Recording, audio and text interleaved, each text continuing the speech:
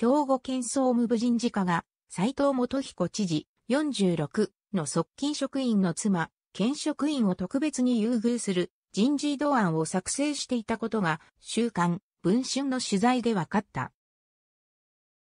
兵庫県といえば、斉藤知事のパワハラ疑惑や告発者への圧力とも取れる取り調べで注目を集めている。そもそも今回の騒動は、元西播磨県民局長の X 氏、個人が3月に知事のパワハラなど7項目を告発する文書を作成したことが発端となっている。県は X 氏を懲戒処分とし、X 氏は7月に自ら命を絶った。さらに別の職員も4月に実施するなど異常な状況となっている。妻優遇人事案を作成していた。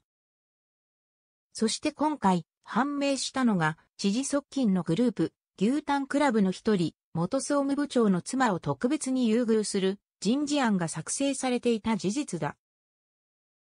元総務部長の妻は県職員なのですが人事課は今春の総務部長就任が規定路線だった知事側近の有力者当時は県民生活部長の妻を良いポジションに配置するために、わざわざ彼女のためだけに移動先、候補案を作成させられていたんです。人事課では、嫁問題と呼ばれる一大案件でした、A さん。少子は人事課が今年2月に作成した転出候補先案2枚を入手した。その一部を紹介すると、農林水産部や町づくり部といった本庁のポジションとともに班長兼務なし、全体調整が求められるなど、配属された場合に業務上生じうる懸念点まで丁寧に記されている。代理人弁護士を通じて回答。嫁問題について、元総務部長に尋ねようと自宅を訪ねると、インターホン越しに妻と見られる女性が対応。しかし名乗った瞬間、結構です、と打ち切られてしまった。元総務部長は電話にも出なかった。メールで質問事項を伝えると、代理人弁護士を通じて回答があった。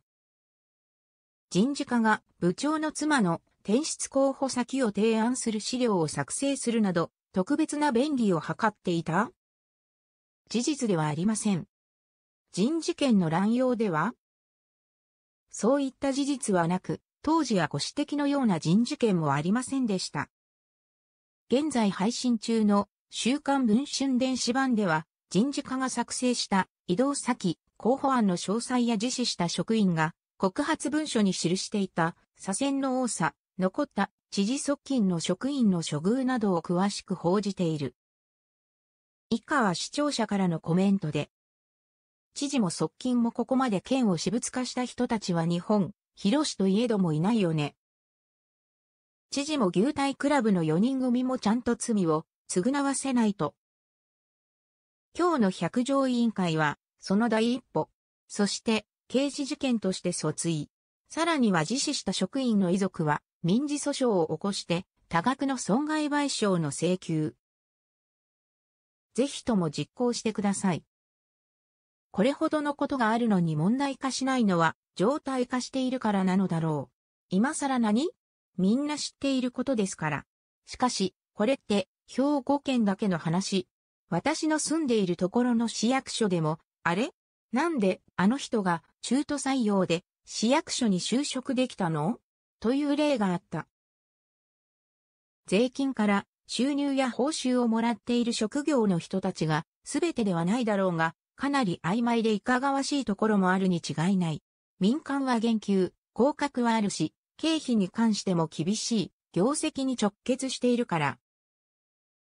職員の給与は税金です。思うがままに権力でやりたい放題していたのならその正当性を明確に示すべき。きっと上っ面の説明しかしないんだろうけど。身内だけいい思いして個人情報を漏らす人事権を私物化し乱用していた4名の処分を検討してほしい。ある意味で、権力やリーダーシップは形に現れるとこういうものではないか。大きな組織ほど巧妙な仕組みになっていて表立ってはわからないようになっている。トップが力を振るえば振るうほど下の人たちが意向を忖度して組織としての一体感とやらが出て望ましい組織運営と言われる。政府や自治体は合成員が法律のプロだけに際どいものまで合法的に処理できるから民間企業以上に追求が難しい。権限を制限することは困難だから、せめてお金の面で制約やチェックをかけるのが納税者たる民の権利であり、義務だと思う？